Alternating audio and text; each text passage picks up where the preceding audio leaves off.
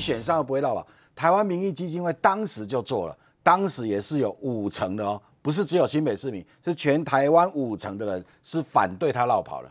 那这次做也是五成，而且那个比例多了两个百分点，所以这件事情那是一个趋势在走了。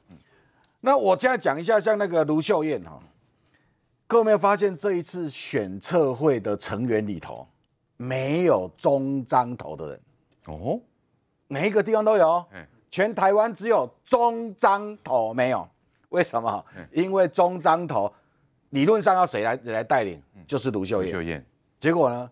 你传出卢秀燕如果要跟侯友谊配，对朱立伦来说，哦，没枪贵可以有多？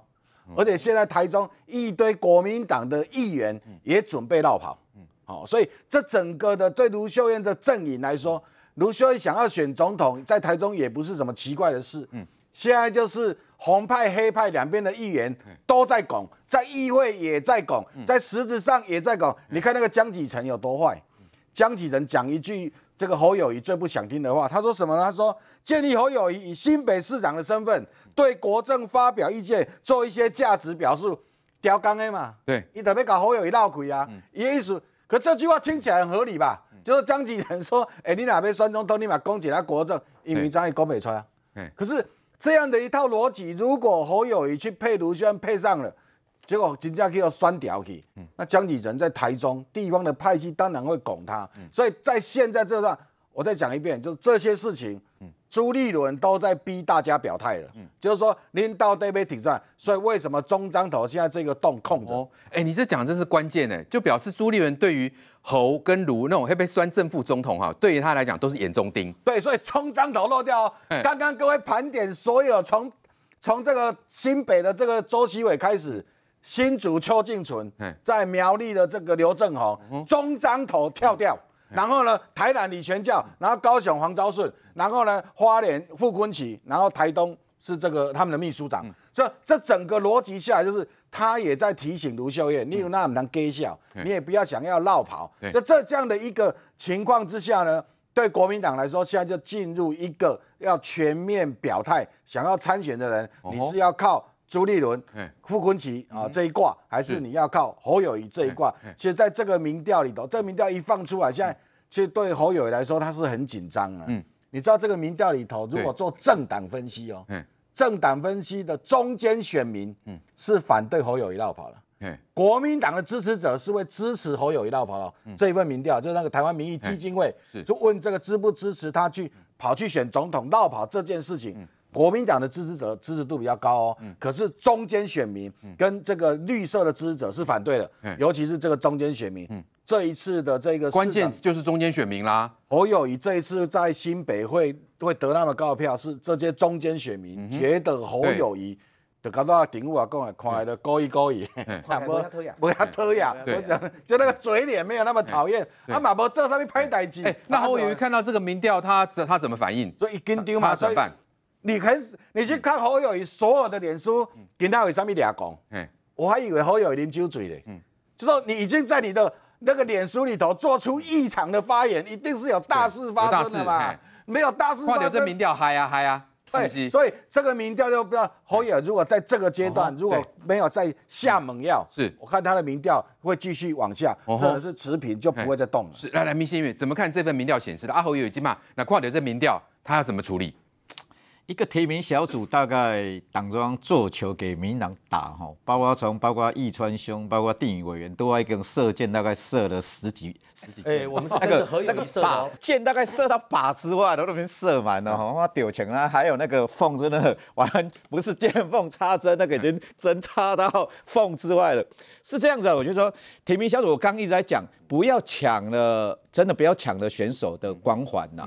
那选手的光环，我觉得这个也是一个危机。对国民党来讲是一个危机，那危机也化作一个转机了，所以逼着侯友谊在脸书表态。侯友谊跪求高的公敬力就救了呀，他讲法大概都是喝啊这代机。侯友谊愿意讲到这一个阶段，他大概已经是，我觉得他心里面大概已经笃定百分之九十九点九了啦。嗯，就说他什么时候宣布？因为现在不能宣布，他现在的身份还是新北市长嘛。可是他面对这些党内可能面临的相关的抉择，甚至有可能政治危机的时候，他必须要迅速跳出来表态啊。对，啊，否则他会第一个他他民调下滑是因为他没有表态，蓝军内部开始在焦虑了，因为民党已经定于一尊了，赖清德昨天去登记了嘛，其实侯友谊现在没办法跟国民党做切割了，因为他如果要代表国民党参他选他，不可能切割啦，他要争取民众党提名或无党籍提名，那不可能，他就他他就是跟国民党绑在一起嘛。怎么样都要盖瓜国承受啦。国民党国民党荣。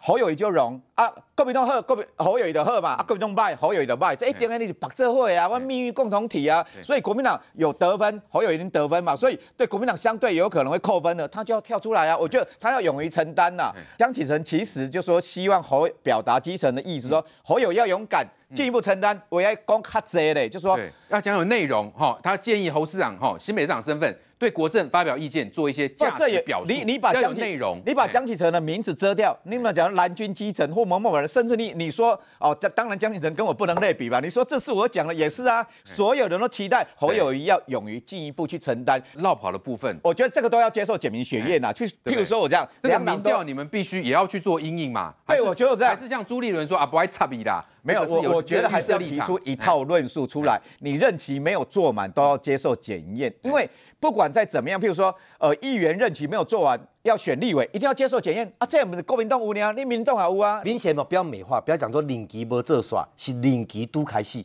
嗯哼，好，迄毋是任期无做煞，做无三个月呢。对啦，啊，这所以无三个月跟所以你这你基本做法无可能啊，地委你怎样啊？家己一点跟迄个彭佳云讲啊，也是哦，我们表态反对啊。对，我我所以现在公开讲反对啊。对对我们所以你来讲也公开反对侯友谊嘛。这一些一定会受到冲击的。那对我，我还是认为说侯友谊现阶段还是国民党最强的候选人。之所以他民调会下滑，第一个他没有表态，第二个他对于国政这一些没有目前还没有论述好。你不觉得很有意思吗？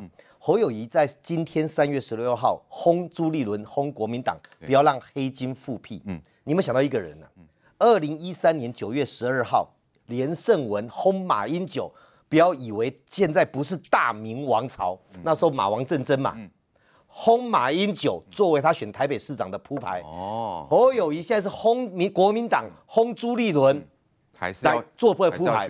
另外，江启臣或者明贤说说希望侯友谊给共寡，他第有一次开始给共寡又丢等于哪一次你知道吗？他讲这个国际哈关哎关税哎贸易壁垒，然后自己加一个分分明啊加个分明，那就讲阿令慢哎贸易壁垒是专有名词，怎么加个分明？壁垒分明是成语，贸易壁垒是一个专有名词，贸易壁垒分明叫草包啊，这三个事情是不一样的。对，一盖好像叼起来哈嗯，马上又丢回去，呵呵这代机。所以哈，如果没有到国政的高度硬讲。哎，倒不如授权别人帮忙讲，是学韩总机比较安全。对，现在的国民党跟这个侯友谊所面临的状况其实非常的复杂，还包括深蓝的音乐人刘家昌今天就公开痛批朱立伦太软弱，也包括侯友谊根本没为蓝营做过什么事。国民党是丢中华民国派，中华民国活生生被他们给丢掉的，太软弱了嘛。就就人气不高了哈，嗯，一上来侯友谊不投票，我在脸书上我说开除这个汉奸，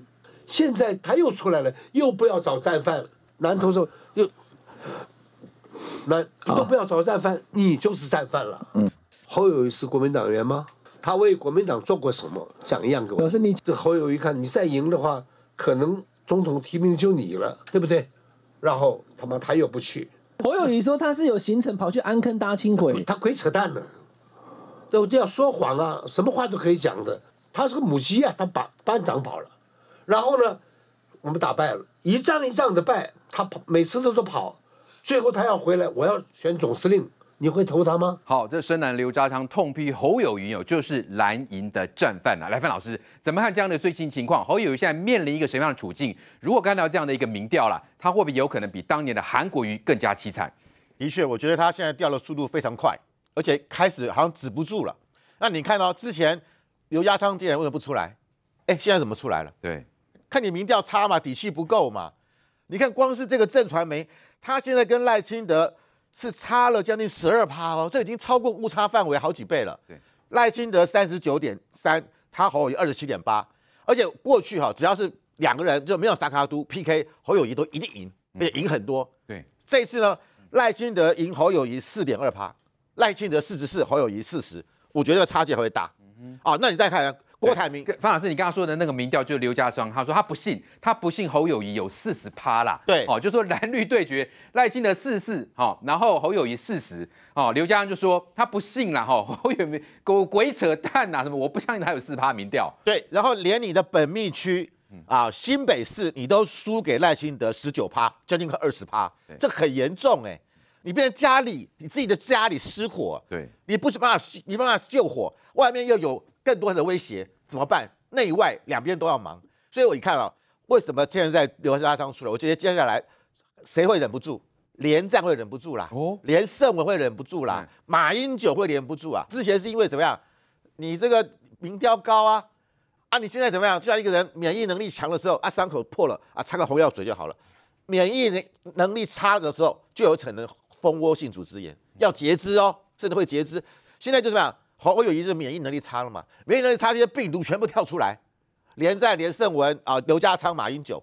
所以马英九两千零八年五二零就职总统，第一件事情，把侯友谊从警政署长硬是拉下来去当警大校长，嗯，连过渡期都没有哦。我不知道新总统就职都有个过渡期，希望那个社会治安能够维持稳定，警政署长不能动，硬要动，所以那个仇恨之深啊，所以我真的觉得现在侯友谊他的敌人就在里面，会越而且来越多。而且你知道，蒋介石在一九四九年在中国的时候，有一句名言，大家都在流传，叫做“蒋家天下，陈家党”，什么意思？蒋介石掌握天下，可是国民党直接在掌控。陈家陈立夫、陈果夫两兄弟，他们负责党务的。现在国民党是怎么样？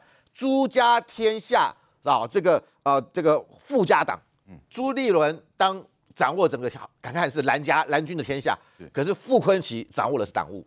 所以看起来傅昆萁对侯友谊来者不善嘛，批评过你嘛，说你蓝皮绿骨嘛对，这个时候怎么会会会征召你侯友谊？不要想太多了啊嗯。所以我真的觉得啊，侯友谊现在真的面临到民调一直往下掉，而且无法止血的情况之下，他的危机非常的高。另外我们可以看到，所以你看百分之五十四点三是啊认为他不应该绕跑。对，看之前他民调高的时候，很多人国民党人怎么替他辩护？哎呀，去年你看侯友谊会赢这个啊林佳龙这么多，就是大家早就认定他会绕跑了啦。嗯我们已经有心理准备了，我们投他的目的就是让他去绕跑，才这样讲哎、嗯给他这么高票就鼓励他绕跑。现在怎么不讲了？我跟你讲，侯友谊看到这个民调不寒而栗，他哦，怎么办？对，怎么他要不要办？辞职？他如果要选，他要不要辞职？对他要不要退党？如果国民党真的不征召他，他现在孤注一掷啦，他没有退路啦。他知道，如果我真的哦做完这一次的这个呃新北市长，我要下次参选，已经到到什么二零二八年了。嗯哼，那时候他的年龄已经将近快要快要七十岁了，七十多岁了。他觉得他可能年纪太大了。时不我与，而且那个时候他已经离开新北市市长的的这个王宝座已经两年了，对，人走茶凉没有舞台可以，没有舞，台了嘛。现在有舞台，你都很难演了。你看这两天人家问他说：“你对这个洪都拉斯啊，跟台湾可能断交，你什么看法？”他说：“要自立、自信、自强。”不讲跟没讲一样，自立、自信、自强不是一样。前一阵子他讲了：“我要新三，要新三民主义，要便民、利民、爱民啊，便民、利民、爱民，自立、自信、自强。”每天要讲顺口溜。那问题是没有内容嘛？所以说，建江启臣要做要侯友谊讲一些有价值表述，他有什么价值？他只有吼吼做代级，他没有价值啊讲，不出来。他没有灵魂啊！你去看昨天赖赖清德在那个他昨天不是登记去领表，他的整个的演讲十几分钟没看稿子，嗯，然后讲外交、国防、两岸，对啊，娓娓道来，面面俱到面，面俱到，经济发展，只要有准备嘛。我不要讲赖清德过去外交、国防、两岸也不懂啊，他过去他是医生，对不对？然后他当当过这个台南市长，他就是很 local 很在地，他对这个东西对他来讲可可能是有一些没有并不熟悉。对。可是这三年多来他补课，他非常的到位。嗯，而且你看他去年代表蔡蔡英文去参加安倍晋三的家祭，那都是国际的场合嘛，对，人家在国际上走得出去嘛，所以你刚刚大家说，你看赖清德这个这个有武可以搬嘛，有总统的那个态势嘛，对讲起话来，对不对？他有一定的那个高度嘛。侯友谊就不行嘛，你不能一直用自立自信自强，对不对？一直搞下去，又又是什么啊便民利民爱民这样的混到混到成为总统，我觉得台湾的对总统的要求是是非常高的标准。是，来郭东哥，侯友谊现在面对啊是内外交迫吗？哦，外有这个民调不断的掉下来，哦，这个呃外界认为他是落跑，再来对内深蓝族群对他骨子里依然完全不相信，虽然刘家昌在台湾政治上一点影响力都没有，但是他的谈话反映出一个事实出来，就是国民党每次碰到选举，并没有用心在人民的身上，都是制造仇恨，都是以虚言谎话泼墨水，不用其极。如果你好好用心在人民身上，提出一些政策，提出一些候选人，人民一定会支持你这个政党嘛。政党的目的不是这样子吗？但是不是？刚刚中央你讲对了，如果你比较敏感的人已经感觉到，现在国民党有一股势力在打猴，而且这个势力还结合了境外势力，哦，里外内外合，因为刘家昌绝对不是代表国内势力吧，所以你就可以看出侯友谊真是四面楚歌啊。但是我们觉得说，他为什么不表态？很多人民都不知道，连国民党你内部人都不知道，因为新北市因为午夜才开议啊，他都还没有上台报告，你叫他怎么表态说我要参选，我要要要来二零二四总统，连开开议都没有开议，蒋根完议长四月还要带议员团去英国、法国考察，他都不在。那你叫一个市长说我要宣布要参选，连议会都无开议，啊无爬去甲大家说下落，讲我连你成功对啊啊啊，对对对要选总统，对，讲我要来选总统。韩国瑜至少也在高雄议会被人家打的满头包才出来的吧？嗯所以我说侯友谊真的是有苦难言，他怎么讲说你好歹等我议会开议再来决定这些事嘛？那国民党没有学到韩国瑜的教训吗？那呃党党内反对侯友谊人拼命打，会把他打下去。那这批人难道你朱立伦当主席的人压不下去吗？还是放任他，故意纵容他们去打？所以现在侯友谊真是四面楚歌了。不过我们讲，毕竟他也是哎江湖历练几十年的人，四四五十年的人，如果是因为这样子就把他言行打出来，我也觉得新闻愣起来了。到最后他会发生什么事情，我们现在都不能断言。我们是一直在观察侯友谊，你要怎么要掌握契机？我实在不愿意再用历史故事来告诉侯友谊，你现在的选择是你要当曹操还是当董卓，就这么简单的、你现在炮轰党那个是董卓，要屠杀十委员，要进去跟他们开干，那是董卓嘛。你将来如果是沙卡都三国鼎立的时候，你就要扮演你是曹操，你就要用计谋了嘛。你不能在这干嘛也要呵呵做代机啦。新北市是最大事，新北市再怎么大事，只有一百多万人支持你，那离总统那太差太远，韩国瑜都有五百多万人呢、对，所以我说你你这样子，你的幕僚真是查个我告肉而肉。他现在身边真的我们还看不出朱立伦有傅昆萁，赖清德有潘文安，你现在侯友谊有谁呀、我看不出你侯友旁边有这种大将在哪里，布阵是在那边。对，你没有，每个都是想去接替你，每个都想靠你。侯家军想要你的光环，你到底谁在替你铺排这个轿子？你连铺排人对，你要坐上轿子，总要有人抬嘛。那抬轿人到底是谁？他没有那种国家格局的那种幕僚，哎，对，那个叫国师级，国师级的对，人家马英九以前有金补充啊，法律上有陈长文这些人，你现在赶快给名单，至少让人家知道，哎呦，侯友谊布置成功哦，这些人都是一时之选哦嗯，那将来国民党是有办法赢得两二零二四哦，你现在都没有。你还在固守新北市，呵呵做代级。新北市是最大的事，所以要做大事。哦，不 不怪人听个实在，哎，不要说你们自己蓝营的听不下去听，个民调一直很涨啊多本来想那么想骂你说蓝皮立骨的人，那立骨的人都啊，我这这这这这我我没再给我听下去啊嗯。所以你要改，改的契机在哪里？好好去思考一下嘛，去想一下，不要在外面再接受访问。有人叫他不要再接受访问是正确的嘛？你越接受访问，你撸来撸拍款物件都拢造出来啊！你不要接受，冷静一下，好好准备。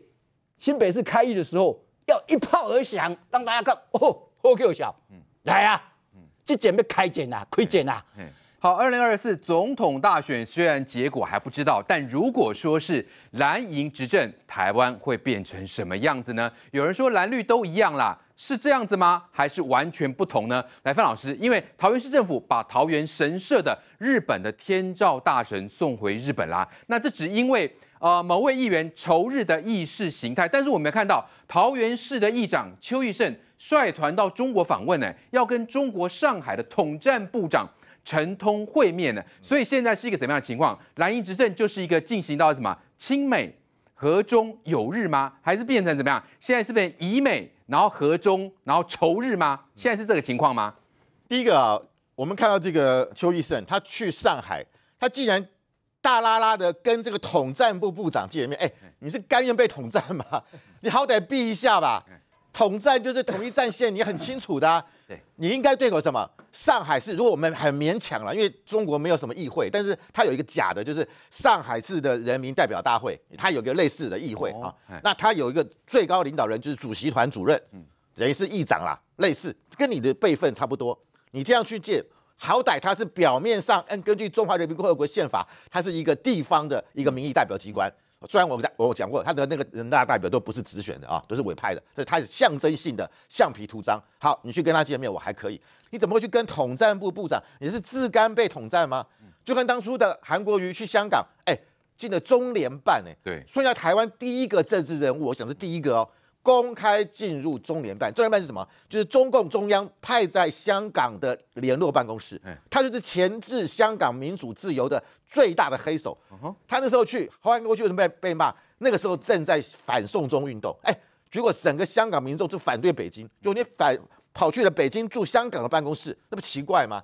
这也是后来好韩对韩国瑜选举选情。非常不利的地方嘛，哎，现在这个啊，这个邱医生，我不觉得他大概也无所谓了，反正邱医生是不懂还是怎么样？真的是甘于被统战？不懂嘛？他们去对岸交流有很多次了嘛，都犯这个低级错误，是吧？什么？他根本不在乎国民党谁要选总统嘛。哦，反正现在也不晓得是谁嘛。嗯，侯友谊也没说，侯友谊到今天为止嘴巴没有说过一句他要选总统哦。嗯，国民党现在是没有一个总统候选人嘛。嗯，所以他也没有必要啊帮你什么啊做一些演示干嘛？对，就就不演了，不演了嘛。那能够去最好嘛？谁给我的待遇好，我就去，我就去哪个单位嘛。统一战部给我的待遇好，饭店住得好啊，吃得好，比其他单位比台办好，那我就当然去统战部嘛。所以我觉得这就是完全没有大局的观念、大局意识嘛。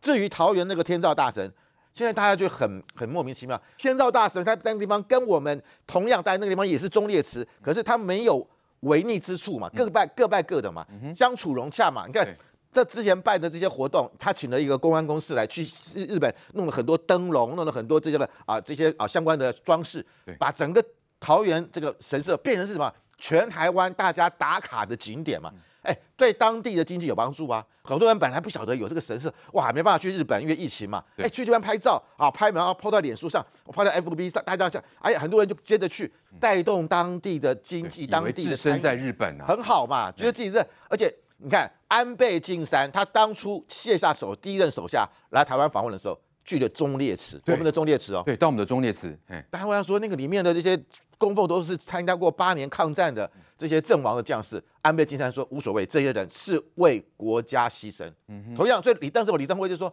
没有关系嘛，我们台湾人去日本，哎，也可以去靖国神社嘛，对不对？我们这个跟那个政治没有关系，我们是尊重，只要为国家牺牲，都是值得尊敬，对，都值得尊敬嘛。啊，当然有些蓝营的人就说啊，这个这八年这个啊八年血血八年血血史啊，这个啊抗抗战啊精神啊啊不愿意去，那我们也尊重你，不去你的事嘛。易川兄，我们看到现在的一个情势了哈，就是说当然国民党还没有赢得二零二四的这个哈总统大选嘛。假设如果真的赢得，就像现在的这些蓝营县市，他所的这个啊。那种意识形态之浓重，会影响到未来的施政呢，也会影响到未来台湾人民的生活。所以，从桃园市可以看到，也看到前天高金素梅如何在立法院的质询。哦，他的质询竟然是去怀疑美国，然后他昨天他有反驳啊，他就说，民进党拿着啊这种简体字来掩盖什么中华民国主权的原则问题，遗憾呐，他觉得为什么不能够怀疑美国嘞？其实邱义胜这个这次去上海哦，他去的第一天开始我就追踪他了啊。然后呢，他不断的在讲上海有多好。他说上海啊，要拿这个支付宝都不用现金，然后呢，手机要不离手。重点是他去的时候啊，去见统战部长时，他说来见见老朋友。这个统战部长跟他是老朋友哦。那他们就坐在那个中国那种官方的那种座椅上面。你可以夸你朋友，结果一起统战部长，你还贴在脸书上，你还在脸书做广告。就是甲大家讲，吼、要扩大触及率，你知影？要大家参加讲，我去中国嗯。疫情这两三年，很多的议会啊，包括立委会吼，除非讲什么足重要的公务出国去，啊无议会一般拢无出国。议长桃园市的议长第一道插队就去上海呢。然后这件事情这么巧，就刚好是把这个日本的这个在台湾这个所谓的这个神社的这个、这个神啊，然后讲这个什么元照大人，这个代志，给他压出来，给他给他用用照。但我们就想说，张善政你到底在搞什么鬼啦？好、就讲你你为什么有办法接受这样的事情？好，那这个邱义胜这样弄了以后，高金素梅在立法院又这样弄，然后吴思华又在讲那个黄埔军校的事情，嗯，这整套下来，国民党你是去年年底赢伤济哦，赢伤济大型啊，就对啦。就讲哦，基本上又在恁母的啊，然后呢，要再跟中国做这一个表态，你不要跟我说这些人啊的行为不代表中国国民。